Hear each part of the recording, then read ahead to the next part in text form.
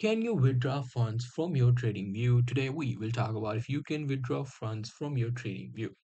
Well, this thing is technically not possible because TradingView is actually a social media network or an analysis platforms, which means this is only used for analyzing, you know, uh, the stocks and all the things. This is only, you know, it only uh, is a chart platform, which means it gives you live charts. However, you cannot make trades in TradingView which means you won't be able to store money into TradingView. However, you can do it by you know connecting some brokers or brokerages. Now these are the you know uh, your brokers which you just have to connect. Actually, they will make trade for you, but while you can analyze the charts from TradingView. So if you want to withdraw money, just you know uh, go to these website which you have connected, and then you will easily be able to withdraw.